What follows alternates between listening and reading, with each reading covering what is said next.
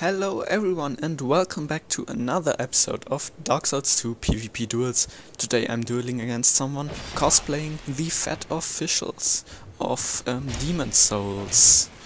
I didn't play Demon Souls by myself, but I watched certain playthroughs and let's plays, so I know who these guys are and how he cosplays it. And definitely, they were fun fights against him. The Crescent Axe that he uses is a re really good weapon in my opinion. He didn't use the, he mostly or once went, he didn't use the, um, uh, the running attack that would be, the two-hand running attack that would be a spin to win. Uh, which is a really good advantage of this weapon. Um, and yeah, like I missed the um, katana R2 here and he wrecked me. GG. Um, um, we had just a few duels, that's because this video is just so short, but they were definitely very interesting and um, so I took them together to uh, make an episode of duels. To my build I use uh, a huge um, akimbo build which means I use in every hand weapons, no shield, and I have in my left hand the dark, the fire dark drift, in my right hand a shotel, an old whip, and I think uh, dragon, um, drake keeper, um, drake keeper sword, and in my left hand also the metal scimitar.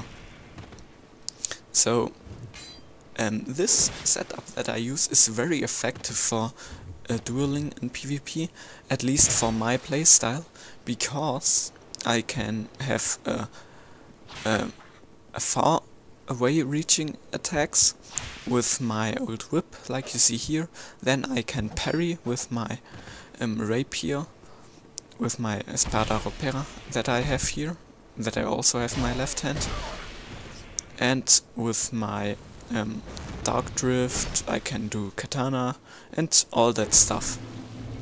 Katana poke attacks. So definitely very interesting matches.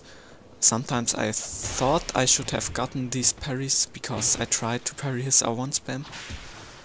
But for that I got many of the old whip attacks. So definitely something good. His combustion hit me at the beginning one time and I played kinda bad here because I traded often hits but it was fun to me because he didn't buff, he didn't use overpowered things also and was definitely fun to play against. And also my armor setup that I really love, ooh that combustion, is the mm, Desert Sorceress head, the Varangian armor and the Varangian cuffs and no, I don't think Varangian cuffs, but some other cuff, uh, hand gauntlets and legs. Varangian legs, I think. It looks awesome and oh, sorry for that sound. And it's very cool to play with because it's not really overpowered high thing. Got the! Finally. Now like uh, because this is a really short video. Um, this is the last match I had against him. He played um, kinda good like you saw there. That was an attack cancel that only really do advanced, a bit advanced PvPers. And yeah, definitely fun to play against, like I said multiple times in this video, because I'm very uncreative in what I say. He tried to parry here, yeah, tried to parry my old whip, and lag, lag, lag, lag, lag.